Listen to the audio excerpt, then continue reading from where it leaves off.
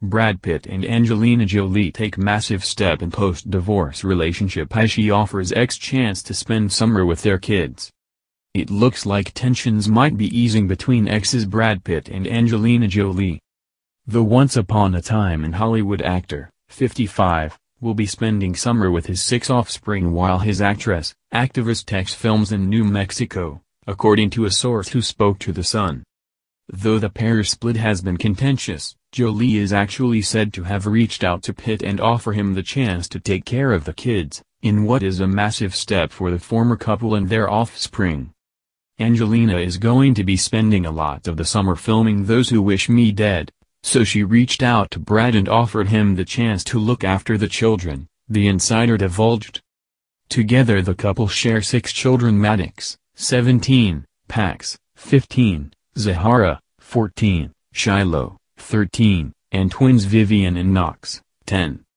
The arrangement seems to be a turning point for the couple, who have famously been at odds since parting ways in 2017. This is a massive step for them and the children, who have only had limited time with Brad since the breakup.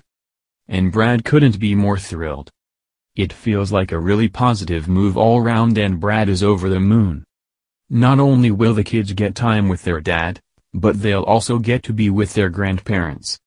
Brad's invited his parents, Jane and William, to stay with them at his mansion in LA so they can have some proper family time together.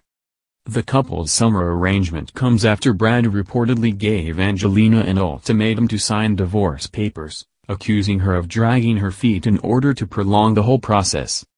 The actor allegedly encouraged his lawyers to ask the judge to finalize a deadline for Angelina to sign the papers, and put in place a hefty fine if she fails to do so.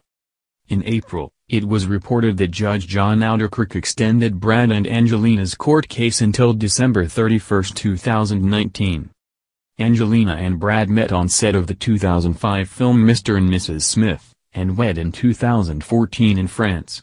In 2016 she filed for divorce.